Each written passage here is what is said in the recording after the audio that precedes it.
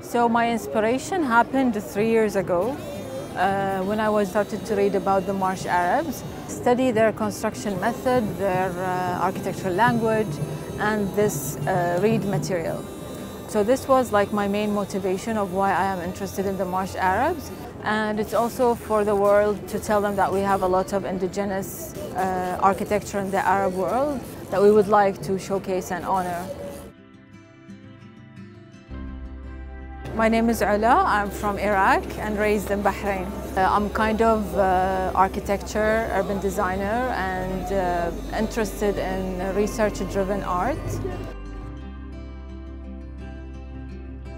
So the materials I used are uh, reeds. These materials are exported from the marshlands in Iraq.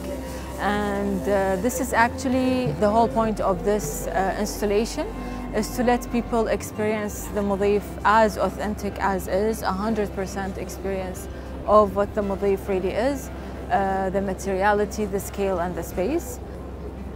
Uh, I think this material could be easily adapted in today's world. It's very sustainable, it's very durable and it's very heat resistant.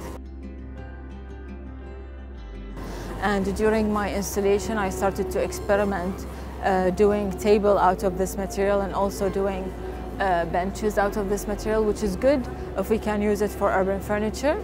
So we can adapt and we can play with this material, of course, in today's world.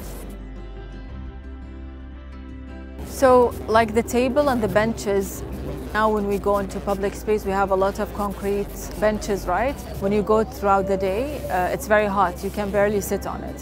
What I'm trying to say is that this material is heat absorbent and then it, it resists the heat. So even during the sun, it's not going to get very hot where it gets, uh, where it annoys the user. A use out of this resistant would be, of course, uh, amazing in today's world. The marsh Arabs are very, very, very depending in water uh, in terms of their life, their biodiversity. And this material is actually grows in water.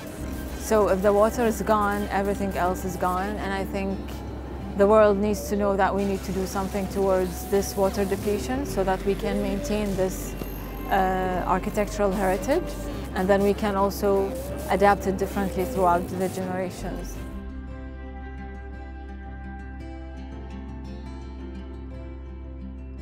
I actually found a lot of challenges. For example, bending the arches, caring about the stability. For me, like it's very something new. However, in a world that everything wants to be contemporary and new, I chose to to do the Mudhif as is, to let the people experience it as is. And it's still looking beautiful because it's a timeless design.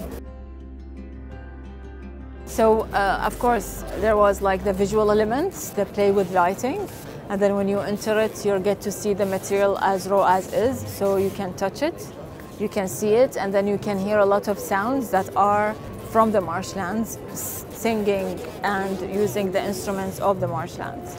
So um, there's also like materials of water and rocks. And then when you enter, there's also the smell of the, of the, of the material that you can uh, comfortably feel. And I heard so many comments as well today. People passed by and they said, oh, it smells like Iraq. So it was really good uh, for me to, to hear that uh, because that means I'm delivering the multi-sensory experience. Actually, this installation made me reconnect to my homeland because I got to talk to the communities in the marshland closely. I got to understand uh, their construction method, taught me how to be patient, taught me how to be more familiar with the material itself and testing the material possibilities. And I got to understand their hospitality as well. The opportunity of Abwab in Dubai Design Week uh, was great. It was really nice to shed light on the vernacular architecture in the Arab world. So it felt really good Uh, the team was very supportive, and I think it's a good platform to showcase the people because everyone comes to Dubai, and I think everyone would see the structure now, and uh, they will actually feel like, oh, it's actually nice. And this is the whole point of this installation.